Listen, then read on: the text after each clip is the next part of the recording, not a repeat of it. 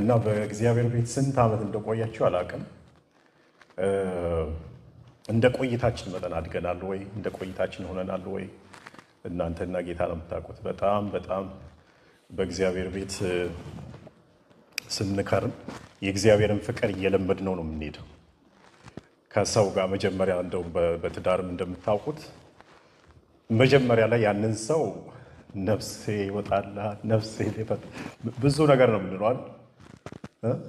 ምግብ ሁላ አይበላልንም።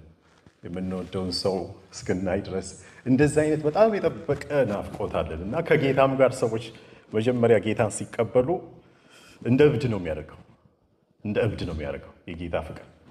እና በቃ ልሙትልህ፣ ልኖርልህ፣ ልሩጥልህ በቃ ሰው ሁሉ ጌታ ቢቀበል ደስ ይላቸዋል። ምን ነክቶት ነው ሰው? መንገደኛው ሁሉ እንዴት ነው ይሄንን ጌታ የማይቀበለው? እንደዚህ አይነት መልካም የሆነ ቸር የሆነ ጌታ እንዴት ነው ሰው የማይቀበለው? እንዴት ዝም ይላል ብላችሁ ትጠይቃላችሁ። እና እየቆያችሁ ስትሄዱ ግን ያው ለባል ለሚስት እንደሚሆነው ይለመዳል ጌታ። እንደውም አንዳንድ ጊዜ እልህኛ ይሆንብናል። በፊት በጣም እንደዛ የምንናፍቀው ጌታ አንዳንድ ጊዜ በቃ ልንመክረው ሁላ እንሞክራለን። ጨካኝ ይሆንብናል፣ ያሳዝነናል፣ ይቆጣናል፣ ይገስጸናል እና ጥሩ ነው መላመዱ። ያው በዛ ውስጥ ማደግ አለ፣ እግዚአብሔር ማወቅ አለ። ጌታም ደግሞ መጀመሪያ አካባቢ ላይ ከኛ ጋር ሲላፋ አጨካኝ አይደለም። በቃ ትሪት ያደርገናል ባለንበት እድገት ደረጃ ማለት ነው። እየቆየ ሲሄድ ቆንጥጫውን ትንሽ ቆንጠጥ ማድረግ ይጀምራል። ያዝ ማድረግ ይጀምራል። ድብቅ ይደበቃል። አንዳንዴ ደግሞ ይሰወራል። ስትፈልጉት የለም፣ ብትጠሩት አይሰማ። በዛ ውስጥ ደግሞ አዳዲስ ነገሮችን እያስተማረን እውነተኛ ማንነቱን emotional ከሆነው ስሜታዊ ከሆነው ፍቅር እርሱን በማወቅ ላይ የሆነ ፍቅር ወደ መሆን ያሻግረናል። ሂደት ነው ማለት ነው እድገት። ክርስትና ሂደት ነው። ክርስትና ጊዜ ይፈጃል። ነገር ግን በትዕግስት ከእርሱ ጋር ደግሞ የምንቆይ በትዕግስት ከእሱ ጋር ደግሞ የምናድግ ሰዎች መሆን አለብን ማለት ነው። እግዚአብሔር መንገዶቹን ያውቃል። ምን እንደሚሰራ ያውቃል። ለምን እንደሚያደርግ ያውቃል። እኛ በመንገዶቹ ውስጥ ልንወጣ ልንወድቅ ልንነሳ እንችላለን እና የእግዚአብሔር ፍቅር ዛሬም ትኩስ ነው ልላችሁ ነው። እግዚአብሔር ፊቱ አልተቀየረም። ዛሬ እርሱ ፍቅሩ አልቀንሰም። እግዚአብሔር ለእኛ ያለው በጎነት አልቀንሰም። ዛሬ እርግጠኛውን የምናገረው እሱን የእኛን እኛ እናውቀዋለን ማለት ነው። የእግዚአብሔር ፊት ግን ዛሬም ቸር ነው። ጌታ ዛሬም ቸር ነው። እርሱ ፍቅሩ አይቀንስም። ለዛሬ ምንድን ነው ጌታ ወይ በልቤ ውስጥ ታስቀምጠው? በዚህ ቃል ላይ ብዙ ለብዙ ቀናት ልቤን ውስጥ አመላልሼዋለሁ፣ አውጥቼዋለሁ፣ አውርቼያለሁ እና አንዳንድ በዚህ ቃል በቃል ለዚህ ቃል መዘጋጀት ለስብከት መዘጋጀት የሚባለው ነገር እኔም ራሴ ጌታን መታመን እየተማርኩበት የመጣሁበት ጊዜ ነው። ጌታን መታመን ማለት ነው እና ብዙ ቀናት መላፋት፣ መተሻሸት ብዙ ስብከቶችን ጽፌ ምናምን በቃ ጨርሼ አልቋል ብዬ ከሰኞ ማክሰኞ ላይ ስጥለው፣ ሮብ ላይ ጽፌ ሐሙስ ላይ ስጥለው፣ ሐሙስ ላይ ጽፌ አርብ ላይ ስጥለው። ምክንያቱ ምንድን ነው? ቃሉን ብድግ አደረጋችሁ እኮ ማውራት ቀላል ነው። ያንኑ ቃል እየደገማችሁ እግዚአብሔር ፍቅር ነው እያላችሁ እኮ ሰዓቱን መሙላት ይቻላል። የኔ ታሪክ ራሱ መሙላት እችላለሁ። ቀኑ ሙሉ ልሰብካችሁ እችላለሁ። የእግዚአብሔርን ፍቅር ለማሳየት ማለት ነው። ነገር ግን ለሰው የምታዘጋጁትና ለራሳችሁ ተነክታችሁ የምታቀርቡት ቃል የተለያየ ነው እና የምትጥሉበት ምክንያት ምንድን ነው? ስታነሱ ሌክቸር ይሆናል። እኔን አልነካኝም። ምናልባት ለሰው ሊጠቅም ይችላል። አይሆንም። አሁንም ይመጣል። እኔን አይነካኝም። ጥሩ ኢንተሌክቹዋል የሆነ እንትኖች አሉት። ጥሩ የሆነ አእምሮዊ የሆኑ እውቀቶች አሉት። እውነተኛ የሆነው ቃል ግን እስከ መጨረሻው ድረስ አይመጣም። የሚገርመው ነገር ለካ ልፊያው ጥሩ ነው። የመጨረሻው ሰዓት ላይ በቃ እናንተን አስለቅሷችሁ እናንተን ወጥቶላችሁ ለካ ለዚህም ያለፋኝ እስከ ዛሬ ብላችሁ አሁን እኔ በቃ እናንተ እንዲህ አድርጉ ወይ ደግሞ እናንተ እንዲህ ብዬ ብናገር ፈርድ አይደለም የምናገረው። ወይ እናንተ ከእናንተ በልጬ ከእናንተ የተሻለ እኔ ኖሬ እናንተ ያልኖራችሁት በሚል አስተሳሰብ ሳይሆን እኔን ቃሉ ገስጾኝ መክሮኝ አልቅሼበት ንስሐ ገብሼበት ጨርሼ መጥቻለሁ። እኔ ይህን ጨርሼ ስለመጣሁ እናንተንም ደግሞ እግዚአብሔር በዛ ቃል እንዲያገኛችሁ ልባችሁን እንዲነካ ምኞቴ ነው። ደግሞም ጸልያለሁ። እኔ በፊትህ ንስሐ ገብቻለሁ ጨርሻለሁ ብዬ ህዝብህን እርዳ፣ ፊትህን አሳየው፣ ብርሃንን አብራለት። በዚህ መንፈስ እንድትሰሙኝ እፈልጋለሁ እና ወደ ማቴዎስ ወንጌል ምዕራፍ 19 እንሂድ። የማቴዎስ ወንጌል ምዕራፍ 19 ከ16 እስከ 22 ያለውን የእግዚአብሔር ቃል አነባለሁ። በጌታ ስም አነባለሁ። እነሆም አንድ ሰው ቀርቦ መምህር ሆይ የዘላለምን ሕይወት እንዳገኝ ምን መልካም ነገር ላድርግ አለው። እርሱም ስለ መልካም ነገር ለምን ትጠይቀኛለህ? መልካም የሆነ አንድ ነው። ወደ ሕይወት መግባት ብትወድ ግን ትእዛዛትን ጠብቅ አለው። እርሱም የትኞቹን አለው። ኢየሱስም አትግደል፣ አታመንዝር፣ አትስረቅ፣ በሐሰት አትመስክር፣ አባትህንና እናትህን አክብር፣ ባልንጀራህንም እንደ ራስህ ውደድ አለው። ጎበዙም ይህንማ ይህን ሁሉ ይህንማ ሁሉ ከሕፃንነቴ ጀምሬ ጠብቄዋለሁ፣ ደግሞስ የሚጎለኝ ምንድን ነው አለው።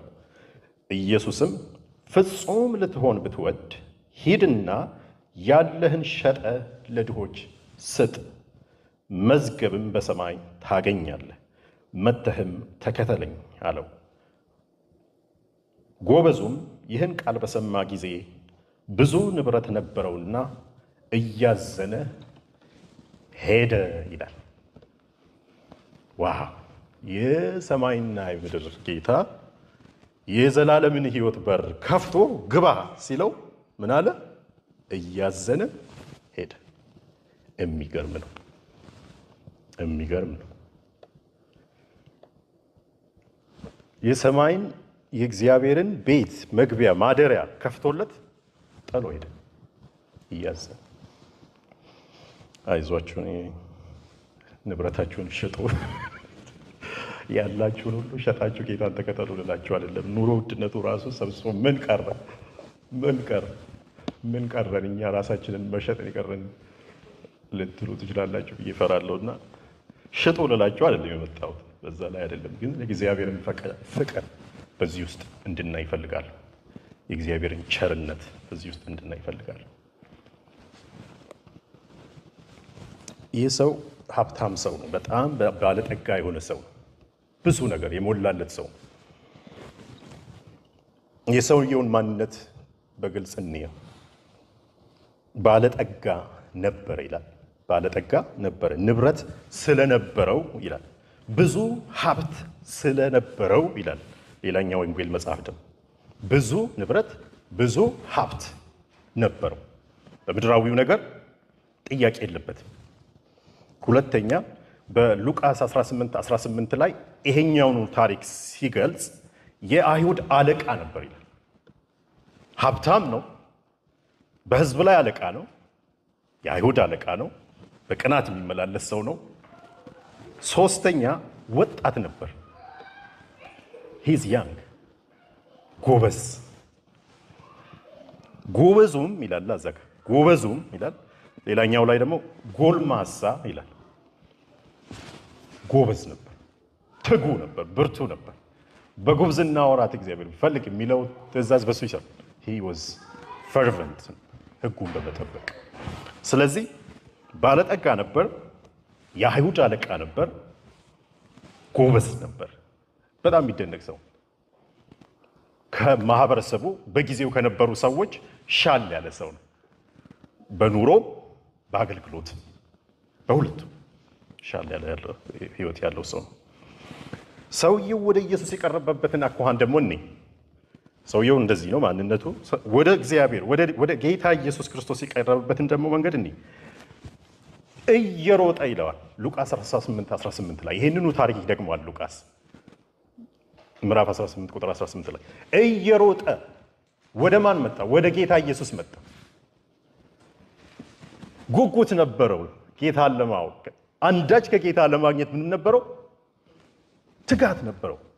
እየሮጠ የመጣ ሀብታም የአይሁድ አለቃ ጎበዝ።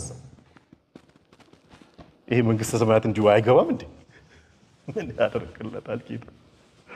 እየሮጠ መጥቶ ደግሞ ዝም ብሎ ተንበረከክ ይላል። አይሁዶች ኢየሱስ ፊት መንበርከክ፣ አይሁዶች ማለት የአይሁድ አለቃ ነው። ደግሞ አይሁዶች አለ ፈሪሳዊ በኢየሱስ ፊት መንበርከክ ማለት ብዙ ሰዎች ያያሉ የሚሆነውን ነገር። እንዴ እንዴ ሀብታሙ ሰውዬ ጎበዙ ሰውዬ አለቃችን ተንበረከከለት ይባላል። እነ እነ ኒቆዲሞስ በሌሊት የሚመጡት ያንን ለመሰወር ነው፣ ለመደበቅ ነው። እነ ዮሴፍ የአርማትያው ዮሴፍ በስውር የኢየሱስ ክርስቶስ ምን የነበረ ደቀ መዛሙር የነበረ በምን በስውር ሌሊት ሌሊት ደቀ መዛሙሮች ናቸው። የሌሊት ደቀ መዛሙርት የሌሊት አገልጋዮች ማለት ነው። ተሰውረው የሚገቡ ተሰውረው የሚወጡ እኔ ሞር በምንድን ነው የወንጌል CIA ወይ ደግሞ secret service የጌታ secret service በስውር የሚሰሩ የእግዚአብሔር አገልጋዮች ግን መታየት አይፈልጉም። ለምን? ስም አላቸው፣ ሀብት አላቸው። ይሄ ሰውዬ ግን ሀብታም ነው፣ አለቃ ነው፣ ጎበዝ ነው። ሰው እያየ እየሮጠ መጥቶ በኢየሱስ ፊት ላይ እግር ወደቀ በጉልበቱ። የሚገርም ይሄ መንግስተ ሰማያት መግባት የሚቀለው ሰው ነው ይመስለው። በፊቱም ተደፋ ይላል፣ ተንበረከከ። ትህትና ብትሉ አክብሮት ብትሉ ለጌታ ያለው ትህትናው፣ አክብሮቱ፣ መሻቱ፣ ጉጉቱ፣ ፍላጎቱ፣ ሩጫው ይህ ሁሉ ስታዩት ሰውየው በመደዳ ካሉ ሰዎች የወጣ ሰው ፈሪሳዊ ብትሉት ማህበረሰቡ ብትሉት ተራው ሰው ከሆነው ሰው ብቻ ሳይሆን አለቆች፣ መምህራን፣ ሀብታሞች ከሚባሉ ሰዎች የወጣ ሰው በምንም እንከን አታገኙበትም። እዚህ ስፍራ ላይ ነገሩ እየጨመረ ነው የሚሄደው፣ እየጨመረ እየከረረ ነው የሚሄደው። ይሄ ሰውዬ እንዴት በምድር ሆነ የሚያስብል ነገር ነው። በጊዜው ከነበሩ ከብዙ ሀብታሞችና አይሁድ አለቆች በጣም በጣም የተሻለና ሊያስመሰግን በተለይ እኛም ራሳችን አሁን በጌታ ያለን የዳንን already ተከታይ የተባልን ሰዎች ያለንን ሰዎች ህይወት የሚያስንቅ ነው። አያስቀናም? እግዚአብሔር ፊት እንደዚህ ያለ ሰው ልቡን እንደዚህ ለእግዚአብሔር የሚያተጋ ሰው እነ ኒቆዲሞስና እነ ዮሴፍ እንደዚህ አይነት ሰዎች አይደሉም። የዮሴፍ አርማትያው ሰው የኢየሱስን ስጋ ከጲላጦስ ለምኖ የቀበረ ሰው ነው። እጅግ እጅግ የከበረ እጅግ እጅግ ጻድቅ ይለዋል ሉቃስ። ማንም ዮሴፍ አርማትያስ ጻድቅ የከበረ ይለዋል። ዮሐንስ ብቻ ነው ትንሽ ከረር ያለበት በስውር አይሁድን ፈርቶ ነው የሚለው ደግሞ አይሁድን ፈርቶ በስውር የኢየሱስ ክርስቶስ ደቀ መዛሙርት ይላል። እሱ ብቻ ነው ትንሽ ጠበቅ ያደረገበት እንጂ ማቴዎስም በጣም መልካም የሆነ ሰው ምናምን ብሎ ነው የሚመሰክረው። ማርቆስም እንደዛው። ሶስቱ በደንብ አድርገው ይመሰክራሉ። ብዙ ጊዜ ዮሐንስ አስቸጋሪ ነው። ስለ ይሁዳም ሲናገር ታስታውሳላችሁ። ኧረ ይህ ሽቶ ተሰብሮ ለድሆች ቢሆን ምን ችግር አለ? ሌባ ስለነበረ ነው ይላል ዮሐንስ። commentary ይጨምራል። ይሄኛውም ሰውዬ ጎበዝ ነው፣ እነ ማቴዎስ እነ ማርቆስ ጎበዝ ነው፣ ከበረ ነው፣ ጻድቅ ነው ሲሉ አይሁድን ይፈራል። ፈሪ ነው፣ ፈሪ አገልጋይ፣ ፈሪ ደቀ መዛሙር፣ በሌሊት የሚሄድ ምናምን ብሎ ይመሰክራል። ለእኛ ለትምህርታችን የተጻፈው ኒቆዲሞስም እንደዛው ነው። ይህ ሰው ሕጉን ከማወቅ አልፎ ሕጉን የሚፈጽም ሰው ነው። ከባድ ነው። ከባድ ነው። ሀብታም ነው፣ ጎበዝ ነው፣ ትህትና አለው፣ ክብር ይሰጣል ለጌታ፣ አለቃ ነው፣ የይሁዳ አለቃ ነው። በሌላ መልኩ ደግሞ ትእዛዛቶቹን ያውቃል። የእግዚአብሔርን ትእዛዝ አስሩንም maybe ስርዓቶቹንም ስድስት መቶ ምናምኑንም ያውቃል። ከማወቅ አልፎ ኖሮታል። አትግደል፣ አትስረቅ የሚሉትን ፈጽሞታል።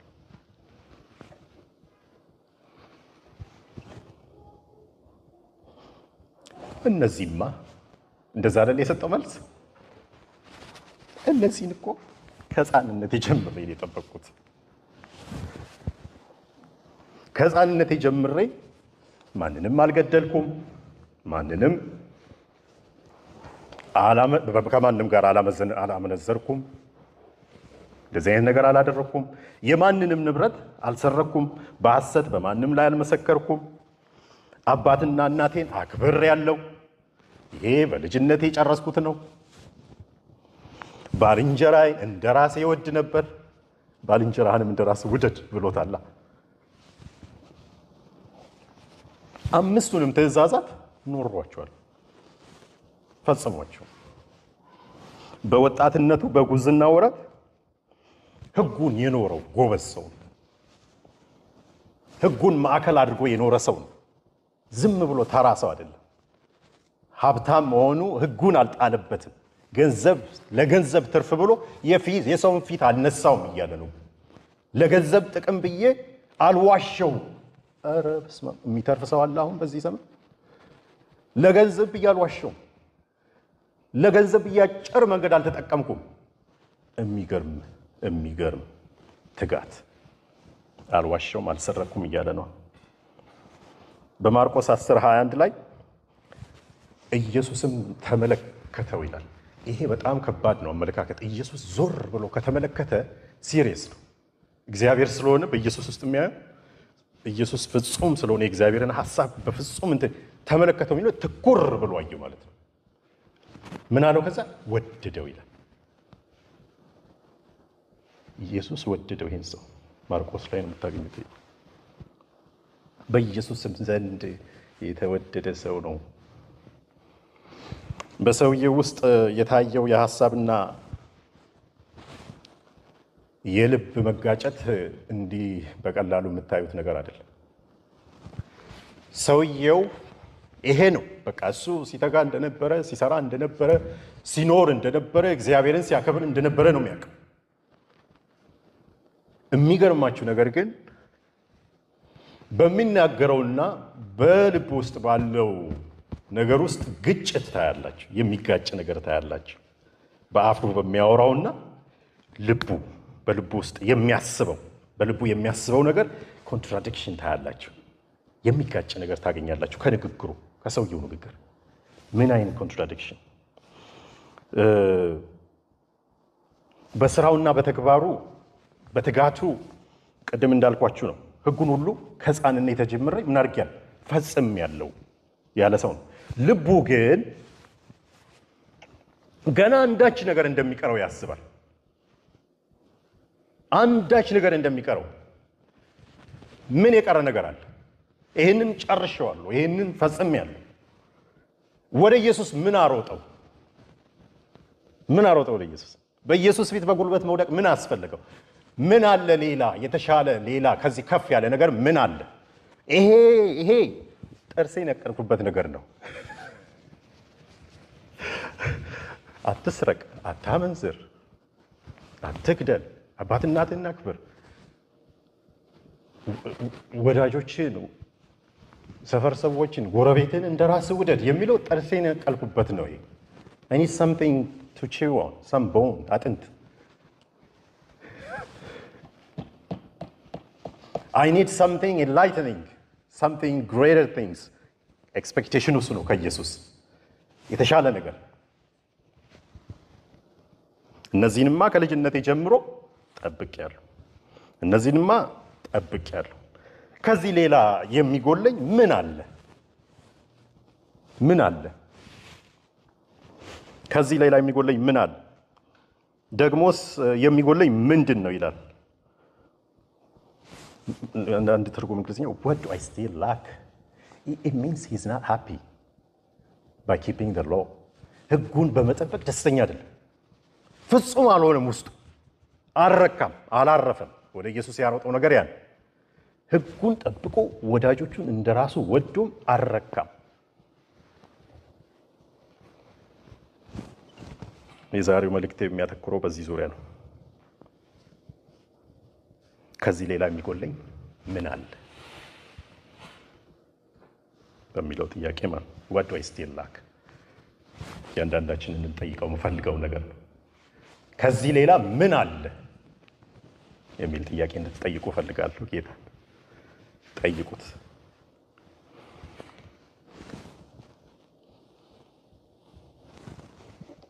ዛሬም ድነን እንኳን ይህ ጥያቄ በብዙዎች ዘንድ አለ።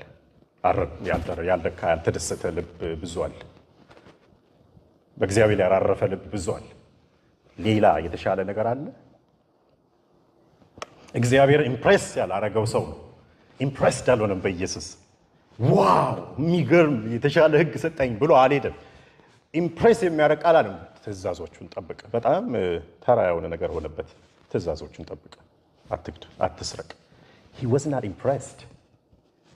አልተገረመም፣ አልተደነቀም፣ አላስገረመውም። የጌታ ንግግር ምንም አላስደነቀውም።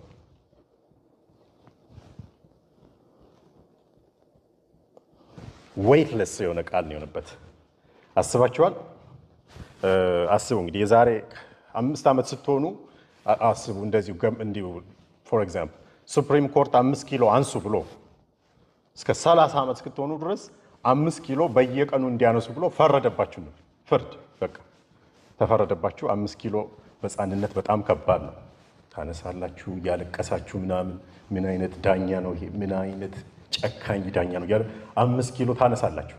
ሰላሳ ዓመት ስታነሱት ሰላሳ ዓመት ላይ ምን ይሰማችኋል?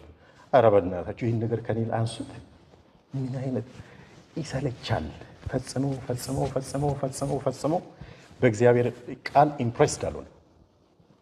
ምንም የጌታ ቃል እንትን አላለው፣ አልማረከውም፣ አልደነቀውም። ምንም ነገር ወይት አልነበረውም። የኢየሱስ ቃል ማለት ነው። አልከበደውም ለማንሳት። ይሄን የተለማመድኩትን ነገር ሰላሳ ዓመት ሊሆን ይችላል፣ አርባ ዓመት ሊሆን ይችላል። ሰማው የነበረው ቃል weightless useless ነው ለሱ useless ምንም ጥቅም የለው። he is in front of God የእግዚአብሔር ቃል ምን ሆነበት? ተራ የተሻለ ነገር የለም። ትንሽ ከበድ የሚል ነገር ልጅነቴ ወጣ የሚያደርገኝ ነገር በጌታ ቤት ነው የቆየሁት፣ በእግዚአብሔር ቤት ነው የቆየሁት።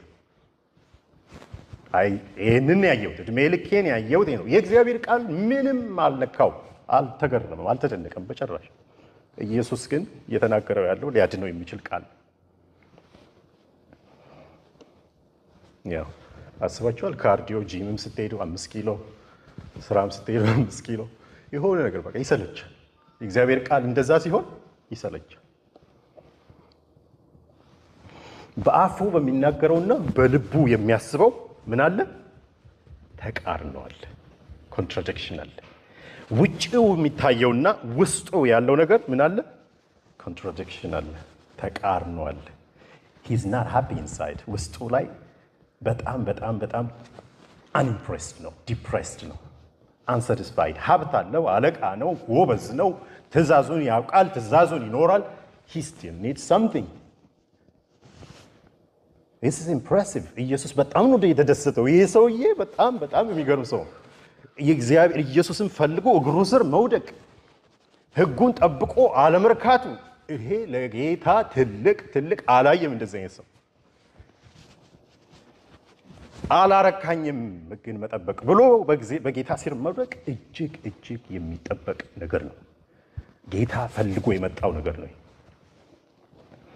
ነገር ግን የሰውየው ጥያቄ የሚያሳዝን ከዚህ ሌላ የሚጎለኝ ምን አለ? የሰውየው በልቡ ያለውን contradiction በልቡ ያለውን በአፉ የሚናገረው ህይወቱ የሚያሳየውንና በልቡ ያለውን መቃረን የሁለቱም በሀሳብና በንግግር በኑሮና በልብ ውስጥ ያለው ተቃርኖ contradiction የምታዩት የተናገራትን ነገር በማይክሮስኮፕ ጠጋ አድርጋችሁ ማየት ነው። zoom in zoom out እያደረጋችሁ ማየት ይጠይቃል። እንዲህ ፊት ለፊት አይታይም። የሰውየው ሪል ማንነት፣ የሰውየው እውነተኛው ማንነት፣ ጌታ ብቻ የማየው ማንነት እዚህ ዙሪያ ምናምን አደባባይ ላይ ቆመው ኢየሱስን ከበው ቆመው የሚያዩት ሰው የማያዩት ኢየሱስ ብቻ የሚያውቀው ሰው እንደሆነ በዚህ ቃል ውስጥ መፈተሽ ማየት ይጠይቃል። ሞቲቭን ለምን እንደመጣ ለምን እዛ እንደተንበረከከ ለምን እንደዛ እንደሚጮህ ጌታ ሆይ ሲሉላ ቸር ሆይ ሲሉላ ለምን እንደዛ እንደሚል ጠጋ ብላችሁ ማይክሮስኮፓችሁን እንዲያደርጋችሁ ማየት ይጠይቃል። የጥያቄው motive ማወቅ አለብን። ኢየሱስ የሚያውቀውን ነገር ለማወቅ የተጻፈልን መጽሐፍ ነው። ኢየሱስ ያለፈበትን ሕይወት አይተን ከዚህ እንድንማር ነው። እሱም ደግሞ በሰዎች ባለፈው ነገር እንድንማር ይፈልጋል ጌታ። ሰውየው ይሄንን ለምን ጠየቀ? ለምን ጠየቀ? ሌላ የለህም፣ ይሄንን ኖሬዋለሁ፣ ስጠኝ ሌላ ምን አስጠየቀው? እንደዚህ አይነት ጥያቄ ለምን ጠየቀ? motive ምንድን ነው? የጥያቄው motive ምንድን ነው? እንግዲህ motive በግምት መሆን የለበትም ማለት እዚህ ውስጥ ባለው ቃል ማየት አለብን። እንግዲህ የጠየቀበት ዓላማ ሁለት ነው ሊሆን የሚችለው፣ ከሁለቱ ሊሆን አይችልም። አንደኛው genuine የሆነ interest አለ። genuine የሆነ interest ሊኖረው አለው ማለት ነው። በቃ ፈልጓል፣ ጌታን ማወቅ፣ የእውነትን መንገድ ማወቅ፣ የህይወትን መንገድ ማወቅ፣ የእግዚአብሔርን የዘላለም ህይወት የማግኘት ፍላጎት አለው። genuinely የምሩን ነው፣ እየዋሸ አይደለም፣ ደስተኛ አይደለም። ጌታን ፈልጎ ነው የመጣው። ጌታን ተርቦ ነው የመጣው። ተጠምቶ ነው የመጣው። ይሄ አንዱ ነው ሊሆን የሚችለው። ከኮሃኑ እንዲህ ወድቃችሁ ጌታ ቸር ሆይ ማለት በቃ ይሄ ሰውዬ genuinely ጌታን ፈልጓል፣ መዳን ፈልጓል። ወደ ህይወት እንድገባ አይደል ያለው። he is concerned በጣም አሳስቦታል። የት ይግባ ወደ ዘላለም ህይወት ይግባ ወደ ዘላለም ሞት ይግባ እርግጠኛ አልሆነም ማለት ነው። አንዱ ይሄ ነው። ስለዚህ ጀኒውንሊ ጌታን ፈልጎ ነው የመጣው። ይህንና ይህንማ ከህፃንነት የጀምሬ ጠብቅ ያለው ተራ ሰው እንዳልሆነ ያሳያል። ሳያቋርጥ እድሜ ልኩን ሲኖረው የነበረ ነገር እንደሆነ ያሳያል። ቁርጠኝነት ያለው ሰው ይመስላል። ሰውየው ዛሬም ድነን ላንነው ሰው በጣም በጣም የሚያስንቅ አይነት ህይወት ነው ያለው። ነገር ግን ኢየሱስን ሌላ የሚቀረኝ ምን አለ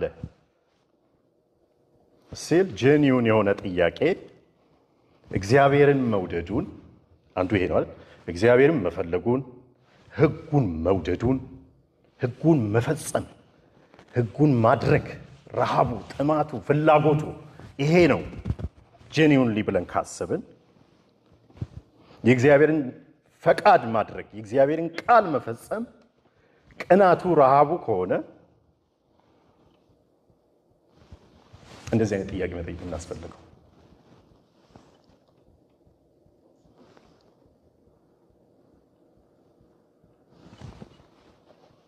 ፍጹም ልትሆን ትወዳለህ መባል ለምን አስፈለገው? የሰውየው ምላሽ ኢየሱስ ክርስቶስ ለሰጠው ምላሽ ምን ነበር? አንዳች ነገር ስጠኝ የተሻለ ከዚህ የበለጠ ሲለው ኢየሱስ ምንድን ነው የሰጠው? አንዳች የተሻለ ነገር ሰጠው አይደል? አንዳች የተሻለ ነገር የተሻለ ደግሞ በሚባል እኮ በሁለት ነገር ነው። አንደኛው ሕጉም ጠንከር ያለ ነው። መጀመሪያ ሕይወት ለማግኘት ነው። አሁን ፍጹም ለመሆን ነው። ፍጹም ለመሆን ትወዳለህ ነው ያለው። ኦ መጀመሪያ ሕይወት ፈልገህ ኦ ኦ አንተ ከፍ ያለ ነገር ነው የምትፈልገው። ኦ አንተ enlighten የሚያደርግ ነገር ከዚህ ከዚህ ተራ ከሆነ ህዝብ የተሻለ ነገር አንተ እንደ ልጆች አይደለህም። እንደነዚህ እንደ ጠፉት እስራኤላውያን እነዚህ ደንቆሮ እንደሆኑ ሰዎች አይደለህም። አንተ ህጉን ታውቃለህ፣ ህጉንም ፈጽመሃል። የተሻለ ነገር ትፈልጋለህ። ምን አለው? ያለህን ሂድና ሽጠው። this is what he asked። የሚገርመው ነገር ህጉ ከፍ ያለ ብቻ አይደለም፣ ትንሽ ጡንቻ የሚያጠነክር ደረት ምናምን የሚነፋፋ ብቻ ሳይሆን የተሻለም ተስፋ አለ። የተሻለ ተስፋ በፊት ላይ ህይወት ነው። አሁንስ ፍጹም ለመሆን እግዚአብሔርን ለመምሰል ማለት complete በቃኝ ህጉ አሁን ፈጽም ያለው ተፈጽም ያለው ሊል የሚያስ ተስፋውም ትልቅ ነው፣ ህጉም ትልቅ ነው። የጠየቀውን የሰጠው ኢየሱስ ምንም ክፋት የለበትም። በቃ ይህ ሰውዬ ወደደው። አቀራረቡን አየ፣ አነጋገሩን አየ፣ ትህትናውን አየ፣ ዝናውን አየ፣ ምኑን አየ። ከማህበረሰቡ ከተራው ህዝብ የተሻለ ትልቅ ሰው ነው ያገኘው ኢየሱስ። ትልቅ ጥያቄ የጠየቀ ሰውዬ በጣም የሚገርም የሚገርም። ኢየሱስ የመጣው ራሱ ለእንደዚህ አይነት ሰው ነው። ለእንደዚህ አይነት ሰው ነው ኢየሱስ የመጣው። ጨርሻለሁ፣ ህጉን ጠብቄ ጨርሻለሁ፣ ግን ደስተኛ አይደለሁ፣ አልረካው። ኦ መርካት ትፈልጋል? አዎ ያለን ይሸጣል፣ ለድሆች ስጥና ተከተለኝ። በቃ እያሸበሸበ ሄደ። የሚሻል ነገር አገኘሁ። ጌታ ይባረክ።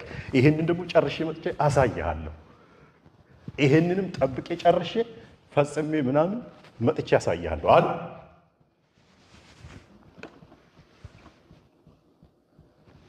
ልብ በል ጌታ አንድ ወር ስጠኝ፣ አንድ ዓመት ስጠኝ፣ ይችኛዋን ትእዛዝ ጨርሳታለሁ ነው አለ ምንድን ነው የሆነው?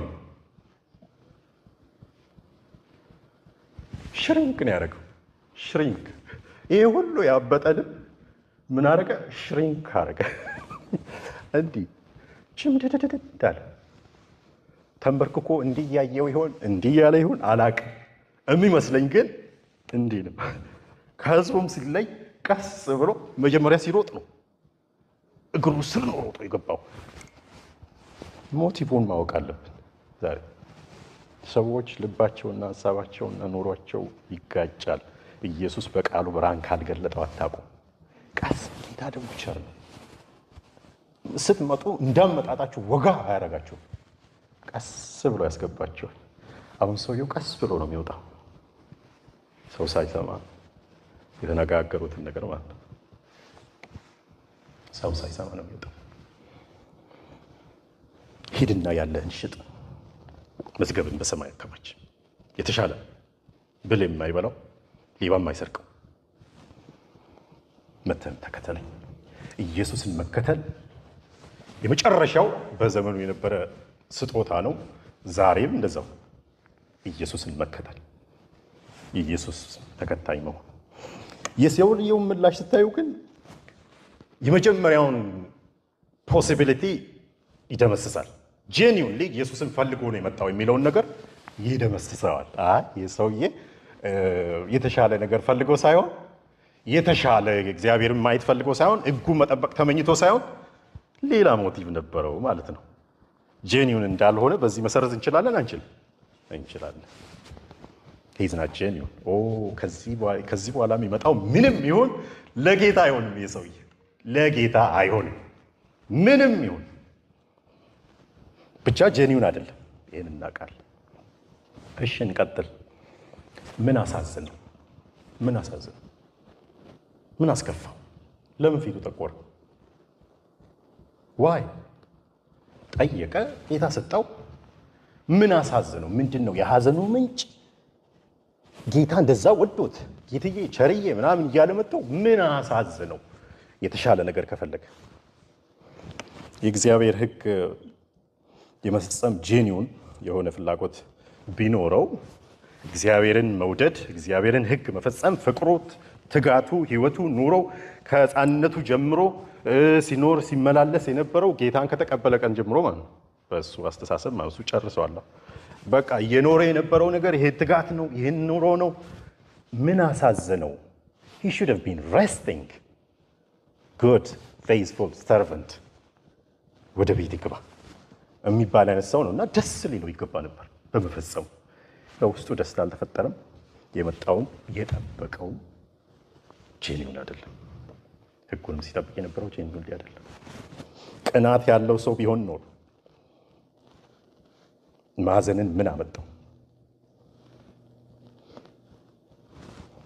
በዚህኛውም ህግ ደስ ሊለው ይገባ ነበር። ህጎቹ የተለያዩ ግብ የላቸው። ህጎቹ የተሰጡት ለሰው ደስታ ነው፣ ለሰው ጥቅም ነበር። ነገር ግን ሰውየው ጠብቆ ደስታ የለውም። okay የተሻለ ፍጹም የሆነ ደስታ እንድትፈልግ ይሄንን አድርግ አለው፣ አዘነ። ይህም ሊያስደስተው ይገባ ነበር፣ የኛ አዲሱም ህግ ደስ ሊያሰኘው ስለዚህ ሲጠብቀው የነበረው ለራሱ ጥቅም እንጂ እግዚአብሔር ወደው አይደለም ማዘኑ የመጣበትን ዓላማ ያሳያል። መተከዙ የመጣበትን ዓላማ ያሳያል። አንዳች ነገር አጥተዋል። አንዳች ነገር disappointed ሆኗል። በጌታ መልስ አልተመቸውም። ያልተመቸው ነገር አለ። ጌታ ከተናገረው ነገር ውስጥ he's not happy this is not what he expected ከጌታ he expected something else። አንዳንድ ሰዎች እንደዛ አሉ። አሁንም በጌታ ሆነን እንኳን እንደዛ አለ። ጌታን expect አድርገው መጥተው አንዳንድ ነገሮች ፈልገው መጥተው ምን እንደሆኑ እናያለን። ከሰውየው ከሰውየው ሰውየው ምን ፈልገው እንደመጣ ብቻ አንድ የሰውየውን ትልቅ ችግር ምንድን ነው የምናውቀው? ጄኒውንሊ እግዚአብሔርን ሕግ እንደማይወድ እግዚአብሔርን ደግሞ ለማወቅ ፍላጎቱ እንዳልሆነ ይሄ አንድ ትልቅ ችግር ነው። የሱ በጣም ትልቅ ችግር የሆነ ነገር እነዚህንማ ጠብቄ ከዚህ ሌላ ምን አለ? እነዚህን ሁላ ሰርቼ በዚህ ሁላ ገብቼ ወጥቼ ከዚህ ሌላ ምን አለ? ጥያቄውን በሌላ ጎኑ ደግሞ እንየው። ቅድም አንዳላ genuinely እግዚአብሔርን ስለፈለገ ነው ያንን cancel out አድርግ አይሰራም፣ ሊሆን አይችልም። እዚህ ጋር ደግሞ ሌላ እነዚህንማ ጥያቄ እነዚህንማ ጠብቅ ያለው ከዚህ ለሌላ ምን አለ የሚለው ጥያቄ ምንን ያሳያል? በሌላ ጎን okay genuine ካልሆነ ማለት ሌላ ከዚህ ለየት ያለ ምን አለ?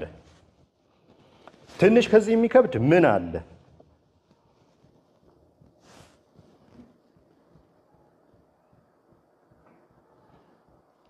ጌታ ሆይ አንተ ከአንተ የጠበቅኩት ነገር የተሻለ ነገር ነው። ስለዚህ አንተ የሰጠኝ ነገር እኔ የጠበቅኩት ነገር አይደለም፣ እየፈለግኩት ነገር አይደለም። እኔ የምፈልገው ነገር ሌላ ነው እያለ ነው። ጄኒውን አይደለም ማለት ጌታ ሊሰጠው የፈልገውን ሳይሆን እርሱ የፈልገው ነገር አለ ማለት ነው።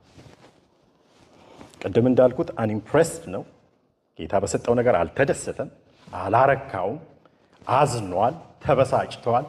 በጌታ እድሜን ሁሉ በዚህን የጨረስኩት አንተ አሁን ይሄንን ነው የምትነግረኝ እያለው ኢየሱስ የተናገረው ምንም አላስደነቀውም፣ አላስገረመውም፣ መገረም አልፈጠረበትም።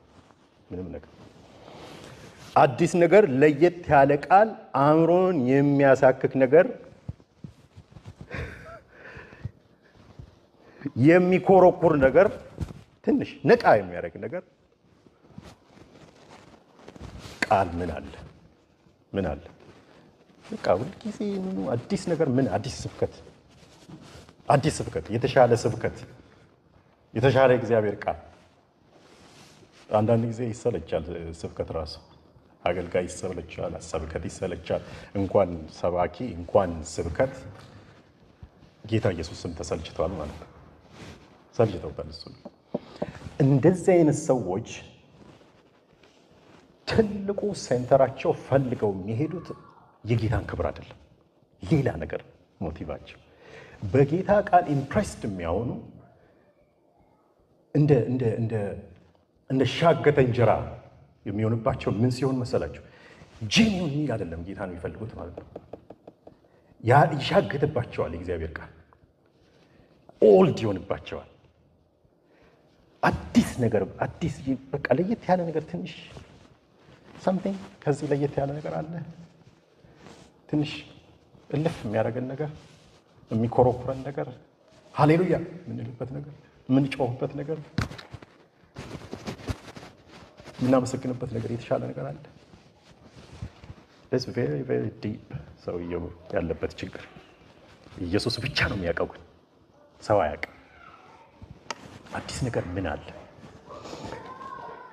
አምስቱ ትእዛዛቶች በጣም routine ሆነውበታል።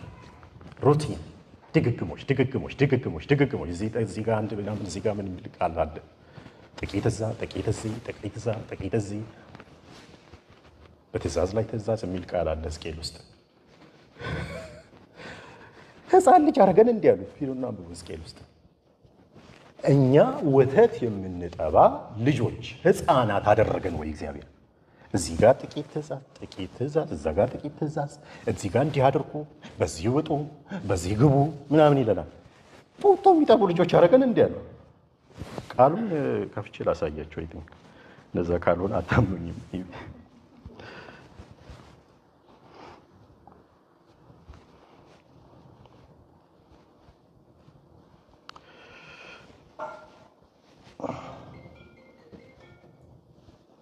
ያገዙኝ እንግዲህ ጊዜ ከወሰድኩባችሁ ሕዝቅኤል 16 መሰለኝ።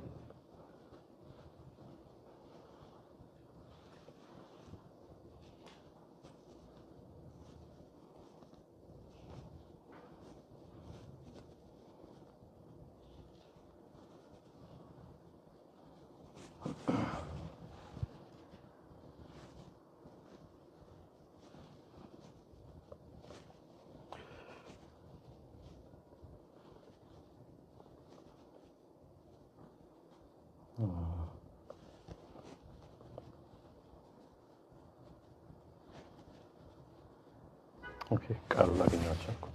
የምትሰቀ ከሆነ አስታውስ።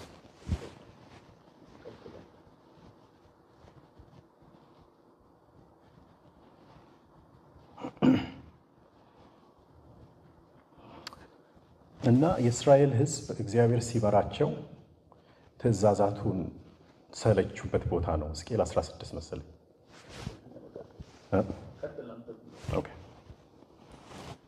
እና በጣም ስለሰለቹ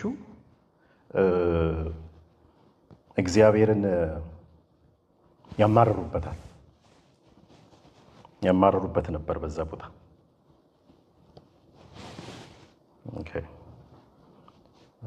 ሕዝቅኤል 16 yeah I think እዚህ ጋር ነው።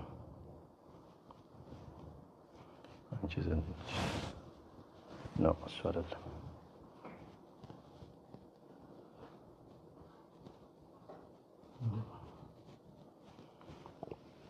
እግዚአብሔር በእስራኤል መሰልቸት አዲስ አይደለም ለሱ። ሁልጊዜ የሰለቹት ነበር። ወደ መልእክቴ ልቀጥል። እግዚአብሔር በጣም በጣም በትእዛዛቱ ሁልጊዜ በዚህ ሂዱ፣ በዚህ ግቡ ሲላቸው ሰልችተውታል። ኢየሱስ ክርስቶስን የተሻለ ነገር እንዳለው የጠየቀበት አንዱ ትልቁ ምክንያት ይሄ ነው።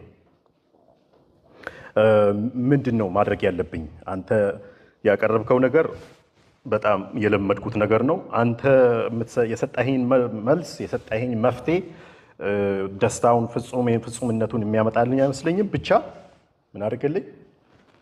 የተሻለ ነገር አንዳች የተሻለ ነገር ስጠኝ ብሎ ጠየቀው። ያዘነበት ሕዝቅኤል ኢሳያስ 28 10 okay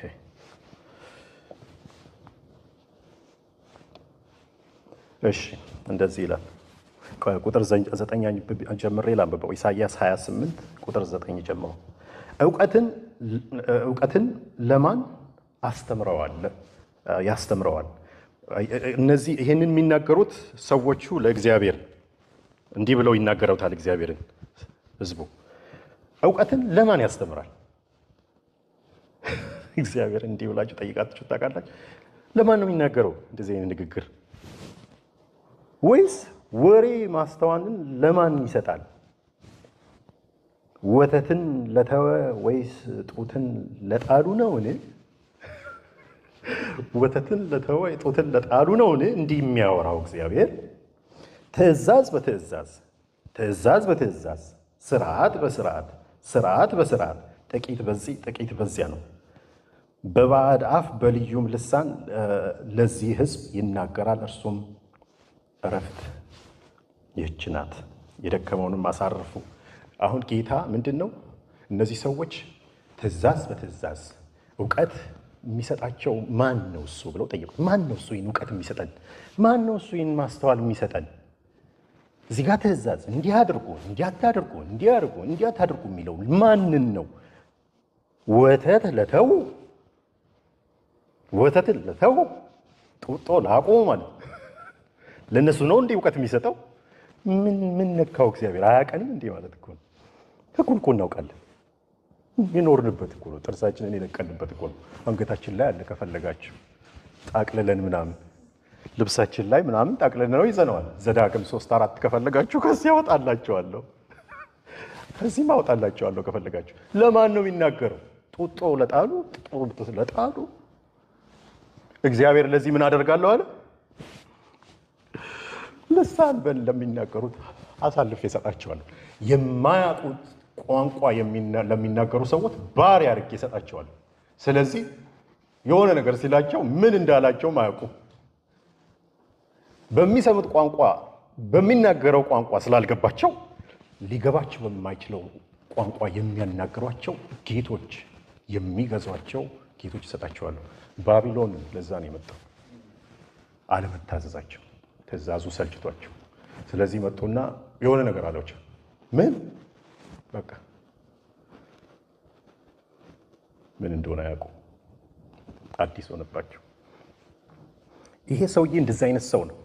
በዚህ አይነት ትጋት ያደገ ሰው ነው። ስለዚህ ጄኒውን የሆነ እግዚአብሔርን የመፈለግ ነገር የለውም። እነዚህን ጠብቅ ያለው አዲስ ነገር ስጠኝ፣ ከሕፃንነት የጀምረ የሰራሁትን ነገር ደግማ አትስጠኝ ይሄን ጥርሴን የነቀልኩበትን ነገር መልስ አትስጠኝ፣ የተሻለ ነገር ስጠኝ እያለው ነው። ገና ልጅ እያለን የሚከብደንን ነገር ጨርሰን ተግተን አድገንበት ፈርጥመንበት አሁን ወደ ኋላ ተመለሱ መባል ይሄ ያሳዝናል። ለዛን ያዘነው ለዛን ያዘነው እንደገና ልጅ ገና እንደገና ተወለድ፣ ሕፃን ሁን። አረ ይህማ የማይሆን ነገር ነው። በልጅነት የጀመርኩትን ነገር እንደገና ጀምረው ትለኛለህ።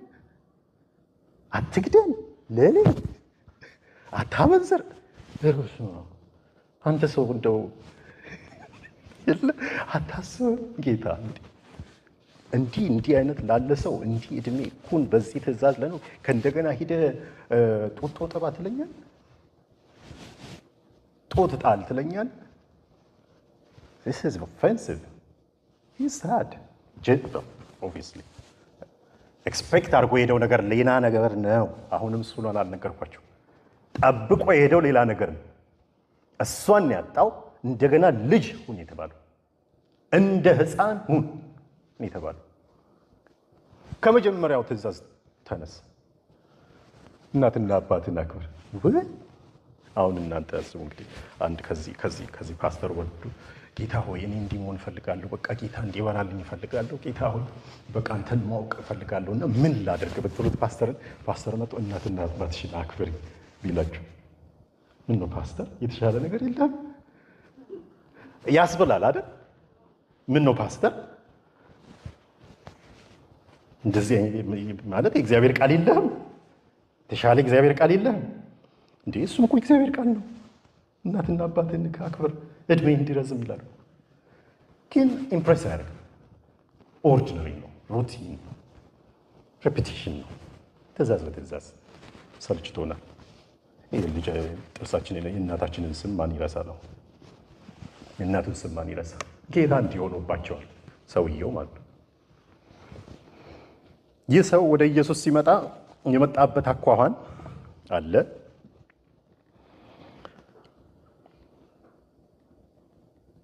በአይን ለሚያይ ሰው በአይን ለሚቃኝ ሰው ውጪን ለሚያይ ሰው በጣም የሰውዬ ሽብረክ ነው የሚያደርጋችሁ።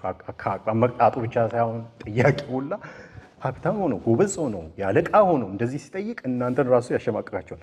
እና ውጪ ሆኖ ለሚያይ ሰው በውጪ ማንነቱ የሚለካው ሰው በእውነት ጌታ ሆይ እንዳንሱ በሆንኩ የሚያስብል ነው። በጣም በጣም ከባድ ሰው ነው። በጣም ትሁት ነው። በጣም ሰው ጌታን ያከብራል። በጣም በጣም ሮጦ ነው የመጣው። እግዚአብሔርን የሚወድ ይመስላል። እግዚአብሔርን የሚያከብር ይመስላል። ታታሪ ጎበዝ ነው። ትጋት አለው። ውጭውን ለሚያይ ሰው አለባበሱን፣ አካሄዱን፣ አኗኗሩን ምናምን ለሚያውቅ ሰው ማለት እግዚአብሔር ግን እንደ ሰው አይደለም።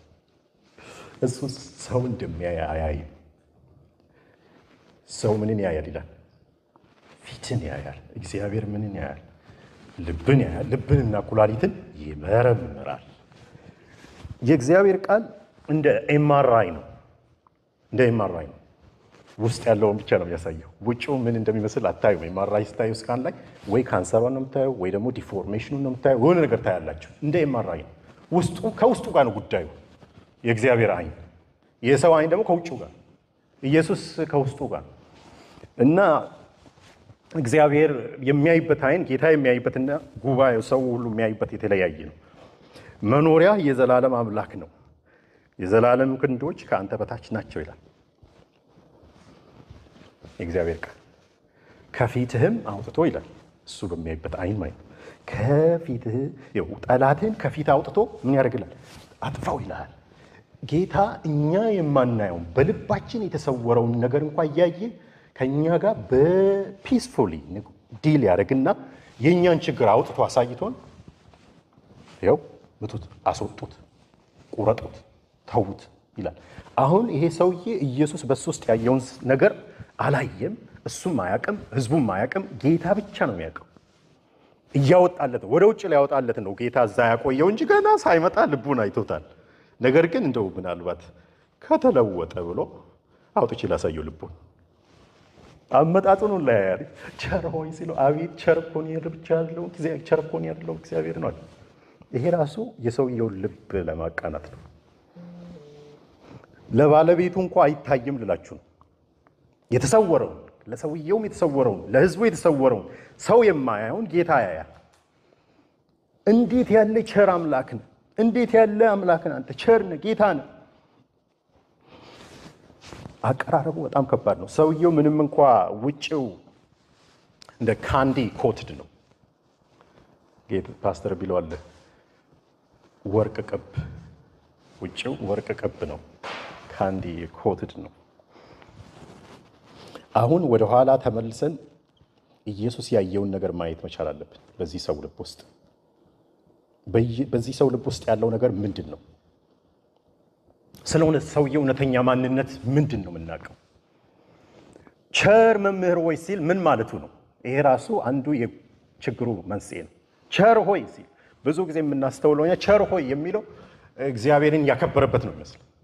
ኢየሱስ ከመለሰው መልስ ግን እንደዛ እንዳልሆነ እናውቃለን። ቸር ሆይ ሲለው thank you ምናምን አላለም። ቸር እግዚአብሔር ብቻ ምን ማለቱ ነው? ኦ ኢየሱስ እኔ አይደለሁም ቸር አብ ነው እያለ ነው አይደለም። ይሄማ እየዋሸ ነው። ጌታ ቸር ነው። በቃ ሰው ስላለ ምናምን ቸር ሆይ ሲለው ተሸማቆ እንደው በቃ ሰው እንዲህ እንዲያውቀኝ አልፈልግም ብሎ ተሸማቆ ነው ኢየሱስ። አይ እኔ ቸር አይደለሁም እግዚአብሔር ነው ቸር ብሎ ነው ተሸማቆ አይደለም። ሰውየው ቸር ሆይ ሲለው ቸርነትን ከስራ ጋር አያይዞ ነው ከተግባር ጋር ህጉን ከመጠበቅ ጋር። ስለዚህ ቸር ሆይ ሲለው እሱም ቸር እንደሆነ አስቦ ነው ህጉን ስለሚጠብቅ ጎበዝ ስለሆነ ጻድቅ እንደሆነ ስላሰበ ቸር ሆይ ሲለው እኔም እንዳንተው ነኝ እያለው አይ ቸር አንተ አይደለም እኔ ብቻ ነኝ እያለው ነው ጌታ። አይ ቸር እግዚአብሔር ብቻ ነው። እርሱ የጠበቀውን ከዚህ motive እንኳን ትረዳላችሁ። ቸር ሆይ ሲለው ኢየሱስ approve እንዲያደርገው ነው የመጣው። approve እንዲያደርገው አንተም እንደኔ ነህ፣ በርታ፣ ጎበዝ፣ ቀጥልበት እንዲለው ነው የሚፈልገው ኢየሱስ። አይ ቸር ቸር እግዚአብሔር ብቻ which means ቸር እኔ ብቻ ነኝ ማለት ነው። ብዙዎችን ትህትና ይመስላችኋል። ትህትና አለ የማስመሰል ትህትና የለም። ኢየሱስ እንደዚህ አይነት ባህሪ የለውም። ጌታ ቸር የሚያደርገው ስራው ነው እንጂ ማንነቱ ነው እንጂ ስራው አይደለም። የሚሰራው ስራ ቸር አያደርገው። ራሱ ቸር ነው፣ ማንነቱ ቸር ነው። ኢየሱስ ለምን ቸር ትለኛለህ ሲለው አንተ ባሰብከው መንገድ አለም ቸርነቴ እያለው ሰውየው ሕጉን ሁሉ እንደጠበቀ አስበው ስለመጣ ነው። ሰውየው ጎበዝ እንደሆነ ጻድቅ እንደሆነ አስበው ስለመጣ ነው። ትልቁ ችግር ያለው እዚህ ጋር ነው።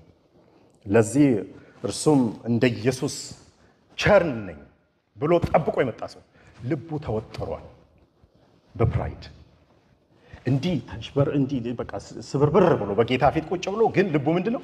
ያበጠ ሰው ነው። እውነተኛ ማንነቱን እሱ ለምንድን ነው የመጣው በጌታ ፊት ስትሉ ጌታ ይህንን approve እንዲያደርግለት ጎበዝ መሆኑ፣ ጻድቅ መሆኑ፣ ሕጉን የሚጠብቅ መሆኑን፣ ታታሪ መሆኑን ምን እንዲልለት ጎበዝ እንዲለው የመጣው። እውነተኛው ማንነቱ ይሄ ነው። ውስጡ ያለው ማንነቱ ይሄ ነው። በውስጡ የሚመላለሰው ይሄ ነው። የምን ጥማት? የክብር ጥማት፣ የክብር ፍላጎት፣ የቦታ ፍላጎት፣ በሰዎች ፊት የመመስገን ፍላጎት፣ ጥማት ያለበት ሰው ነው ሰውዬ። ኢየሱስ ከሰው ጋር የሚወዳደር ቸርነት የለውም። ሰውየው በአፉ ሲያወራ ኢየሱስ ግን ከልቡ ጋር እያወራ ሰውየው በአፉ ነው የሚያወራው ጌታ ሆይ ምናምን፣ ኢየሱስ ግን ልቡን እየተናገረ ነው። አንተ አይደለም ቸር፣ አንተ አይደለም ቸር፣ ቸር እኔ ብቻ ነኝ። የልቡን condition አይቶታል። በ pride የተወጠረ ነው። recognition ይፈልጋል፣ approval ይፈልጋል። complacent complacent ምን ማለት ነው? complacent ነው ማለት self satisfied በራሱ ደስ የተሰኘ ሰው፣ በህጉ ሳይሆን ህጉን በመጠበቁ ደስ የተሰኘ ሰው፣ self approving ራሱን ጎሽ የሚል ለራሱ የሚያጨበጭብ ሰው፣ ጎበዝ ብሎ ራሱን ጀርባውን የሚመታ ሰው። ኢየሱስ ጋር የመጣው እንደዛ እንዲደረግ ነው። ኢየሱስም አብሮት እንዲያጨበጭብ። ስለዚህ ኢየሱስ ከልቡ ጋር ነው የተናገረው። እርሱ ከፊቱ ጋር ነው ውጭውን ነገር ነው የሚያቀርብለት። ኢየሱስ ደግሞ የሚገርመው ነገር ኢየሱስ በተናገረበት ቦታ ሁሉ ሄዳችሁ ስታዩ ሰዎች ለጠየቁት ጥያቄ መልስ አይመልስም። ሰዎች የፈለጉትን አይመልስም። ምክንያቱም ሰዎች የሚናገሩት ከፊት ነው፣ ከዝና ነው፣ ከስም ነው። እርሱ ልብን ነው የሚናገረው።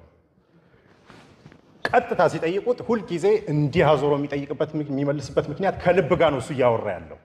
ሰውየውን አልፎ ጥሶ ገብቶ ከልቡ ጋር ነው ወደ መዳን እንዲመጣ ልቡ ውስጥ ያለውን ወደ ገሃድ አውጥቶ ወደ ብርሃን አውጥቶ ምታው፣ አጥፋው፣ እርምጃ ውሰድበት፣ አቁሙ ሊለው ፈልጎ ነው።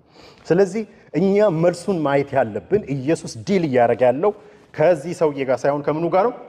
ከልቡ ጋር ነው እያወራ ያለው ልብ ውስጥ ያለውን ነገር ነው።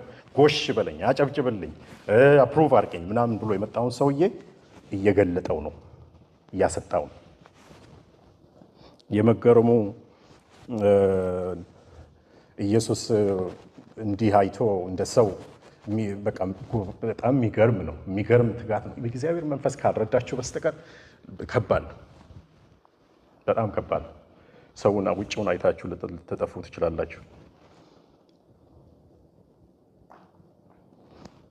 ኢየሱስ ክርስቶስ ሰው እንደሚያይ አያይ።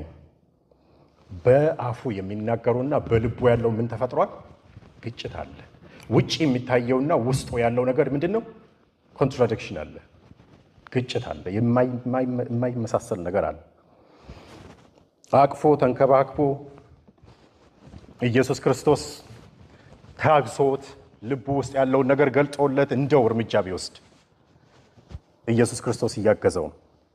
ኢየሱስ በጣም በጣም በትዕግስት ከሱ ጋር እየቆመ ከኢየሱስ ጋር ቸርነቱን በጎነቱን አስተካክሎ የመጣ ሰው ማንነቱ ከጌታ ጋር ከስተካክሎ የመጣ ሰው ትዕቢተኛ ሰው ነው ማለት ትዕቢተኛ ብቻ ሰው በራሱ የሚኮራ በራሱ ጥረትና ትጋት የሚኮራ ለዚህም ከጌታ ምን የሚፈልግ ምስጋና የሚፈልግ ሰው ይሄንን ሰው ገሩቁ አልፈልግም ማለት ነበረበት። ጌታ ሄድልኝ አንተ የምትድርን ሰው አይደለም ምናምን መጀመሪያ በልብ ውስጥ ያለውን አስተካክል ማለት ነበር። አላደረገውም። want to focus because that's how we came እኛ ጌታ አይኑ እንዳየ አይፈርድም። ጆሮው እንደሰማ ሰው የሚያደርገው ይህንን ነው። ልብን ያያል። ሰውየው እንኳ አያቅም ይህ ችግር እንዳለበት አያውቅም። ለዚህ ይታገሳል ጌታ ይጠብቀዋል።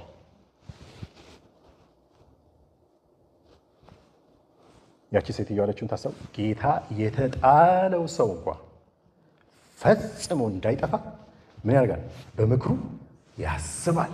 he's being patient ጌታ ኢየሱስ patiently እየጠበቀው ነው ሰውየው ወደ ድነት እንዲመጣ በትዕግስት በምክሩ ምን እያደረገው ነው? እያስበው ነው። ወደደው የሚለው ነገር እኮ በጣም ከባድ ነው።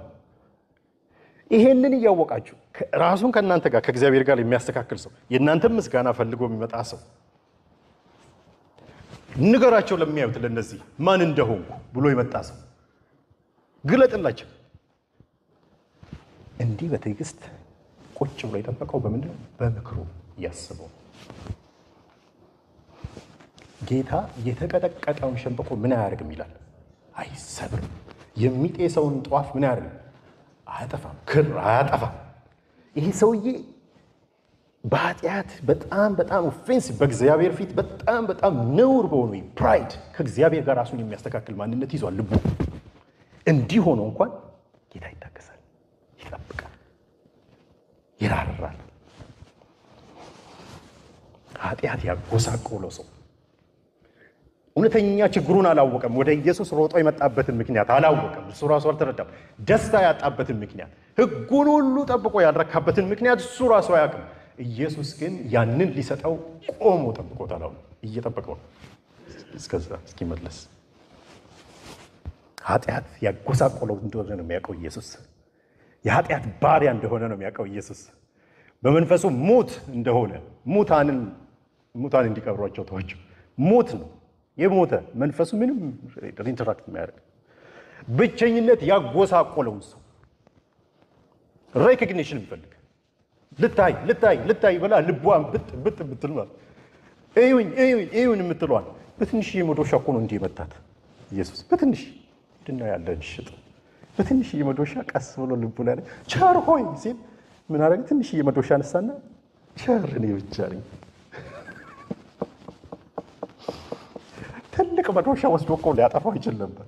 because he saying I am good just like you I been doing good but he acted very slightly በጣም patiently ብሎ ነው ቋ ያደረገው ወደታች ደቆሳት። ልታይ በጥበጥ ብላለች። በቃ ቡር ቡር እያለች ነው ልቡ። ሰዎችን ሁሉ impress ለማድረግ ለሙግት ነው የመጣው። ሰው ሊያየው የማይችል recognition አቶ የሚያየው አቶ የሚጎበኘው እዚህ ግባ የሚለው ሰው ያጣ ሰው ነው የሰውዬ። እውነተኛ ልቡ ይሄ ነው። ደስተኛ አይደለም። ኢምፕሬስድ ያልሆነው ለዛ ደስተኛ አይደለም። የእግዚአብሔር ፊት የራቀው ሰው ነው ይሄ ሰውዬ። ሕጉን እየጠበቀ በሕጉ እየኖረ የእግዚአብሔር ፊት የተጋረደበት ሰው፣ እግዚአብሔርን ማየት ያልቻለ ሰው፣ ሕጉን ጠብቆ መደሰት ያልቻለ ሰው፣ ሁልጊዜ ቁዘማ፣ ሁልጊዜ ጊልድ ያለበት ሰው ነው ይህ ሰውዬ። ኢየሱስ ይህንን ሰው የወደደው ለዛ ነው። ወዶታል ኢየሱስ በጣም የተመቸው። ትክክለኛ ሰው አገኘው። ግን ኃጢአቱን ይናዘዝ ይሆን ይመለስ ይሆን ብሎ በምክሩ እያሰበው ነው። በምክሩ እያሰበው ነው። ጌታ እየራራለት ነው። ወዶታል ጌታ ኢየሱስ እያስመሰለ አይደለም። ወደደው ሲል የምር ወዶታል። እንዲህ አይነቶቹን ሰዎች ይወዳል። ኃጢአት በቃ አልተመቸኝም የሚሉት ነገር ግን ሰውየው አልገባው። እንዲህ በኃጢአት በ recognition ጥማት በበደል ሞት የሆነ ሰው ላይ ምን ሌላ ትጨምሩበታላችሁ? ሌላ ምን ያስፈልገዋል? አሁን ጌታ ይህን ሰውዬ ጥፋ ከዚህ ቢለው ሂድ ከዚህ አንተ ተንኮለኛ pride የሞላብህ complacent የሆንክ የራስን self recognition የራስን ክብር የምትፈልግ አንተ የራስን ማንነት ብቻ ማግዘፍ የምትፈልግ የኔን ክብር የማትፈልግ ሂድ ከአይኔ በዚህ ይሄ እንዲህ ጉስቁል ያለች ነፍስ ላይ ሌላ ሸክም ብትጨምሩ ያድናል ወይስ ያስቀጥላል? ይገላል ወይስ ያድናል? ይገላል። ምን ይጠቅመዋል? ኢየሱስ አሁን በዚህ ላይ ወስዶ ሌላ ሸክም ቢጨምርበት አይጠቅም። ለዚህ ነው ኢየሱስ ክርስቶስ የታገሰው። ለዚህ ነው የራራለት። ኢየሱስ እዛ ድረስ በዚህ አይነት ሞቲቭ የመጣን ሰው ያስተናገደው ለዚህ ነው። ጌታ በምክሩ ያስባል። ልባችን ከእሱ ጋር ሳይሆን እንደፈለግን እያደረግን እንደፈለግን እየወጣን እየገባን በምክሩ ያስባል። ሕጉ ሰልችቶን፣ ቃሉ ሰልችቶን አዲስ አዲስ አዲስ ነገር ልባችንን የሚያሞቅ ነገር በቃ የሚያሮጥ ነገር እየፈለግን በምክሩ ያስባል። ጌታችን ነው ዛሬ ይራራል። that's who is ማንነቱ ነው። እግዚአብሔር ማንነቱ ነው። ጌታ ኢየሱስ ማንነቱ ነው። የመጣውም ለዚህ ነው። እንደዚህ ሰው ልጅ ሌላ ነገር ቢጨምር ምንም እንደማይተርፉ ያውቃል። የተቀጠቀጠው ሸንበቆውን ምን ይፈልጋል ለመጣል? የሚጤሰውን ክር ለመቁረጥ ምን ይፈልጋል? ምን ነው የሚፈልገው? ይሄን ሰው ላይ አሁን ወስዳችሁ ብትጭኑበት ኢየሱስ ክርስቶስ እንደኛ አይደለም፣ ጌታ እንደኛ አይደለም፣ ይራራል። ይሄን ሁሉ ያወጣሁት ሰውየውን ላሳያችሁ እንጂ የጌታ ቸርነት በዚህ ርቀት መስበክ የለብኝም። ጌታች ፍቅር መሆኑን ለእናንተ በዚህ መልክ ርቀት ሂጄ መስበክ የለብኝም። ነገር ግን ልባችን ሩቅ ስለሆነ ነው ወደ ሰውየውን ታሪክ ይህን ሁሉ ጊዜ ፈጅቼ ማውራው። የሰውየውን ታሪክ መተረክ አምሮኝ አይደለም። ነገር ግን የጌታን ፍቅር እንድናውቅ፣ ርኅራሄውን እንድናውቅ፣ ቸርነቱን እንድናውቅ፣ ምክሩን እንድናውቅ ዛሬም በዚህ ቤት የተገኘ ነው ምክሩ እየጠበቀ ነው እንድናውቅ I don't have interest in knowing somebody's history ሁለት ሺህ ዓመት በፊት but I need to bring your heart close to Jesus ወደ ኢየሱስ ልባችሁን ነፍሳችሁን ወደ እሱ ፍቅር ወደ እሱ ልብ ላመጣው ነው። እንዲህ ነው የሚወዳችሁ ጌታ አላችሁ። ይሄን ሰው እየታገሰው እናንተ እንዲህ ተወዳችሁ። እርሱ ለማያመሰግኑት ለቸሮች ለክፉዎች ምንድን ነው ቸር ነው። ለእናንተማ እንዴት እናንተ ላይ ምን ቢጨምር ይሻለዋል? በምክሩን እያሰበን ነው የምንኖረው። የምንመጣው የምንገባው በምክሩ ምክር እየጠበቀ እግዚአብሔር። ይሄ ሌላ ሸክም አያስፈልገውም። ይሄ ሰው ሌላ ሸክም አያስፈልገውም። ልቡ ክፉ ነው። ሞቲቭ መጥፎ ነው። ምን ያስፈልገዋል? የተቀጠቀጠ ሸንበቆ ነው። የሚጤስ ጧፍ ነው። what he needs is love የሆነ በቃ ፍቅር ነው የሚያስፈልገው የሰው የሰውየው ችግር በዚህ አያበቃ pride ትዕቢት የሞላው ሰው ብቻ ሳይሆን እንዳልኳቸው complacent ነው። ክብር የሚፈልግ ሰው ነው። pride እና complacency በጣም blind ነው የሚያደርገው። የእግዚአብሔርን ፊት ነው የሚሸፍንባቸው በምክሩ እየጠበቀ ነው እንጂ የሚያኖራችሁ። የእግዚአብሔርን ክብር ቦታ የእኛን ክብርን መጠበቅ pride የሞላው ልብ በጣም በጣም በጣም መጥፎ ነው። ወደ ጌታ የሚያመጣው አንዳች አቶ አንዳች ተርቦ አንዳች ተጠምቶ አይደለም። አንዳች ጎሎት አለ፣ አንዳም ጨንኮትም አለ። ተጸጽቶ አይደለም። የመጣው ለአንድ ዓላማ ነው፣ ራሱን ለማሞገስ። ጌታ ይህንንም ይታገሳል፣ ይህንንም ይምራል።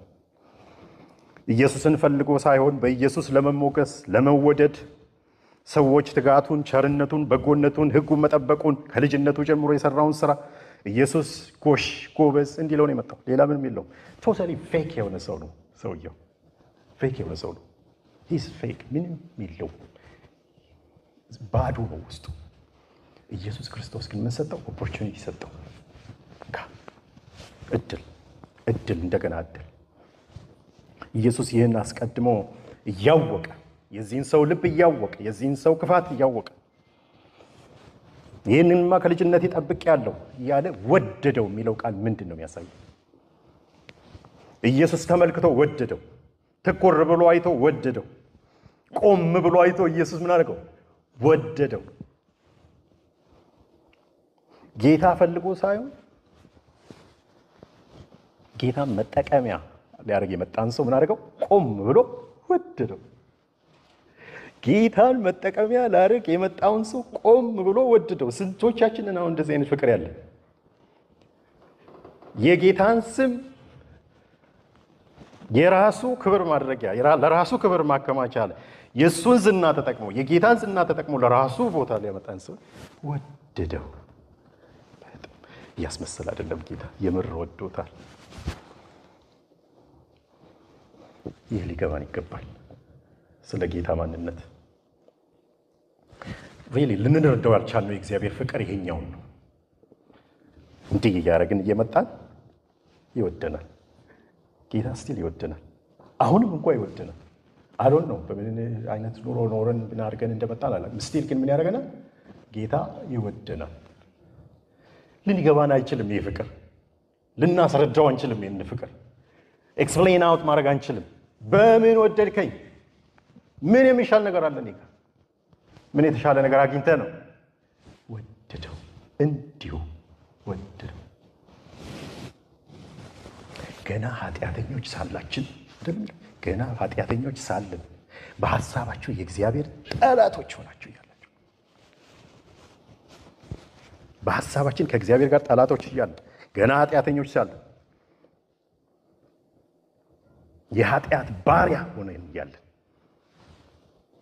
ገና ደግሞ ሄዳችሁ ስታዩ ቅድም ያነሳሁት ሕዝቅኤል እዚህ ጋር ነው። ገና ላምብ ወርቃሉ በአንቺ ዘንድ ባለፍኩ ጊዜ በደምሽ ውስጥ ተለውሰሽ ባየሁሽ ጊዜ ከእናቷ ሆድ ወጥታ በደም ተለውሳ እራቁቷን ምን ሆነ ተጥላ እያለች በደምሽ እንዳለሽ በሕይወት ኑሪ አልኩሽ። ገና በኃጢአቷ በክፋቷ በፕራይዷ በምኗ በምኗ ተጨማልቃ እያለች ምን አልኩሽ ይላል በሕይወት ኑሪ የሚል ጌታ አንድ ጊዜ ብቻ ደግሞ እኮ ያለው ሁለተኛ ደገሙ አዎን በደምሽ እንዳለሽ በሕይወት ኑሪ አልኩሽ።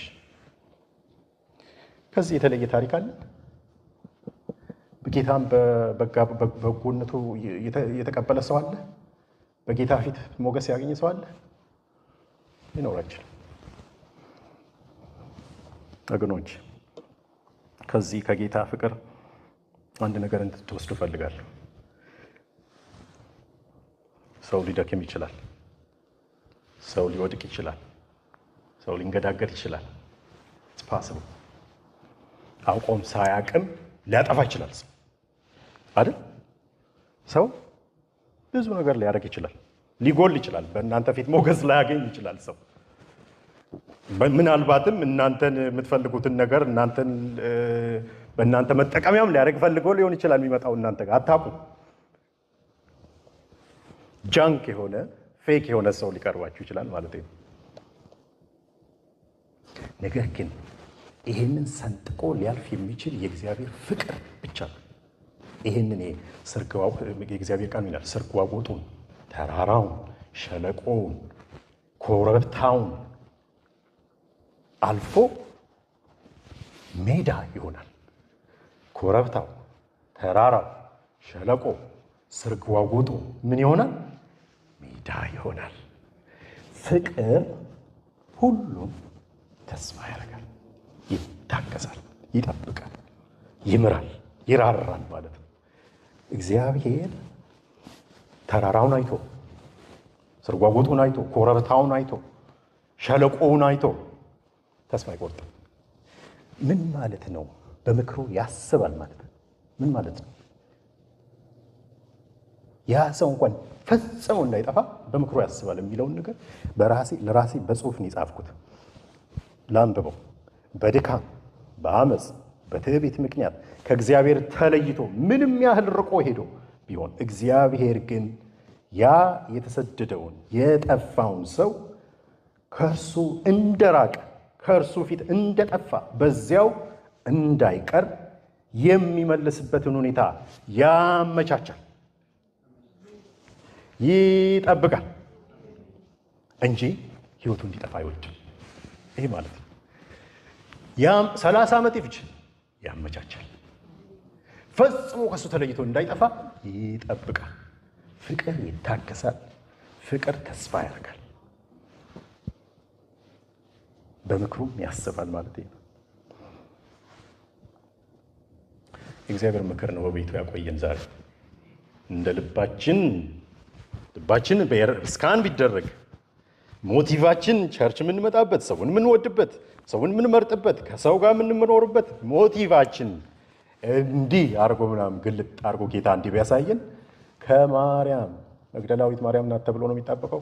ከሴትየዋ ከዛች አመንዝራ ሴት የሚበልጥ ቅጣት አይደለም የሚጠብቀን። ይህ ሰውዬ ጻድቅ ነው የሚመስለው፣ ሕጉን ሁሉ ጠብቋል፣ ሀብታም ነው፣ ጎበዝ ነው፣ ደግሞም የአይሁድ አለቃ ነው። ግን ከማርያም ከዛች ሴትዮ በምንዝርና ከተያዘችው ሴትዮ የሚያንስ ቅጣት አይገባውም። ሰው አያይም፣ ግን ሰው ፊት ነው ያያላ። ይህ ሰውዬ መወገር መሞት ነበረበት። አመጣጡ ልቡን ስታዩ ጌታ ይህንን ቢገልጥ ተንበርከክ ብለው እሱንም በድንጋይ ይሉት ነበር። ለእኛም የሚገባን እሱ ነበር። ልባችን scan ሲደረግ ማንን ማን እንደሚመቸንና እንደማይመቸን ጌታ ያውቃል። አሁን ቁጭ ብለን እንኳ የማን ልብ ማንን ማንን እንደሚመቸን ያውቃል። ፍቅራችን የሚሄደውን distance ያውቃል። ምን ያህል ከኛ እንደራቀ ያውቃል። ማንን እንደምንጠላ ማንን እንደምንወድ ያውቃል ጌታ። ጌታ እንደኛ አይደለም። በምክሩ ያስባል። የማይገባን ፍቅር ነው ጌታ። እንደውም የሚያናድደን አይነት ፍቅር ነው። ይሄ የሚያናድድ ነው። እንዲህ ጌታ አሁንስ አበዛው አበዛው አሁንስ የምንለው አይነት ፍቅር ነው። ጌታዊ ትንሽ አይገባም እንዴ? እንደዚህ አይነት ሰው እንዴት ይቀጥላል? እንዲህ እያደረገኝ እንደዚህ እያደረገ እንደዚህ እያደረገ እንዴት ይቀጥላል? እንዴት እንዲህ ይሆናል? ጌታው አጥፋው፣ ውሰደው ምናምን በምክሩ ያስባል፣ መንገድ ያዘጋጃል። ዛሬ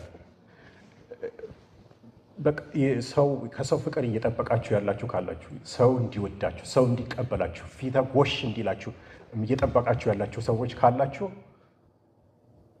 ሌላ ኦፈር ላድርጋችሁ። ሌላ ፍቅር፣ የማይጠል ፍቅር፣ የማይተው ፍቅር፣ የጌታ ፍቅር፣ የእግዚአብሔር ፍቅር አለ። ሁልጊዜ እሱን ካገኛችሁ ሰላም ነው ሁሉ። መልክቴን ጨርሻለሁ። እርሱ ለክፉዎች ለማያመሰግኑትም ቸር ሩሩ ነው። እሱ ሩሩ ነው የሚለው ነገር merciful ይለዋል እንግሊዝኛው። merciful የሚለው forgive ያደርጋል ማለት አይደለም፣ ይቅር ይላል ማለት አይደለም። loving kindness ይለዋል። love plus kindness በአማርኛ ግለጡልኝ እስኪ። ላጣው ነው loving kindness የሚል ቃል አለ በአማርኛ የለም። ሩሩ የሚለው እኔ አይገጽልኝ። በፍቅሩ kind ነው። I don't know እንዴት እንደምገልጽ። loving kindness ሩሩ ነው ማለት ነው። I hope መልእክቴ ደርሷችኋል። I hope እግዚአብሔር ፍቅር ነው ልላችሁ ነው ይህን ሁሉ ድረስ እግዚአብሔር ፍቅር ነው። ዛሬም ሰላማችን ከሰው ጋር ሰላም የምንሆነው ይሄ ፍቅር በልባችን ሲገባ ነው። ይሄ ፍቅር ልባችንን ሲገዛ ነው። የእግዚአብሔር ፍቅር ልባችንን ሲይዝ ነው። በቅሬታ፣ በቁርሾ፣ በቂም፣ በጥላቻ፣ በንቀት ማንመላሰው ምን ስለሆነ ነው? የእግዚአብሔርን ፍቅር የቀመሰ ሰው ብቻ ነው። የእግዚአብሔርን ፍቅር ያልቀመሰ ሰው ትቶ ነው የሚሄደው። እንደ ሰውየው ትእዛዝ በትእዛዝ ሕግ በሕግ ይሆንበታል ፍቅሩ። እዚህ ጥቂት እዛ ጥቂት እዚህ ነው የሚሆንበት። የእግዚአብሔርን ፍቅር የቀመሰው ሰው ግን ፈጽሞ ሊጠላ አይችልም። ዝም ባስቡ እና እባካችሁ ይህንን ፍቅር ፈልጉ። ይህንን ፍቅር ለራሳችሁ ጥቅም፣ ለሰዎችም ጥቅም ይህንን ፍቅር እንፈልግ። የእግዚአብሔርን ፍቅር መልእክቴን ጨርሻለሁ። እንጸልይ።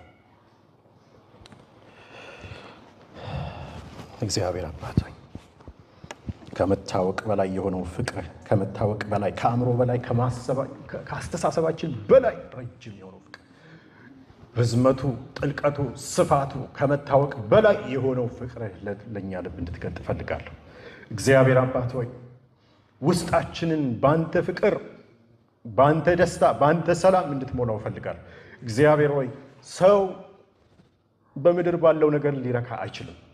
ሰው በምድር ባለው ነገር ሊደሰት አይችልም። ጌታ ሆይ በአንተ ደስ የሚያሰኘውን ፍቅርህን በልባችን እንድታፈስ ጸልያለሁ። አሁን እንኳ ጌታ ኢየሱስ ልባችንን ፈትሽ፣ መርምር። ጌታ ኢየሱስ ክርስቶስ አሁን ጠላቶችን አውጥቶ ምታው ይላል። እግዚአብሔር አምላክ በልባችን ውስጥ ያለውን ነገር ሁሉ እንድታወጣው፣ በብርሃንህ እንድታወጣው፣ በምክርህ እንድታወጣው እግዚአብሔር አምላኬ ወይ እኛም ደግሞ በዚህ ነገር ላይ እንድንጨክን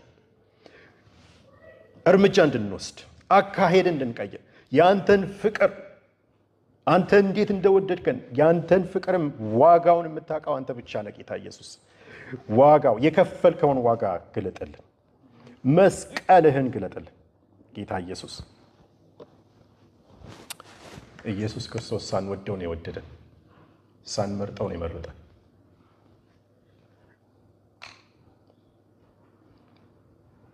ለዚህ ጌታ ያለን ክብር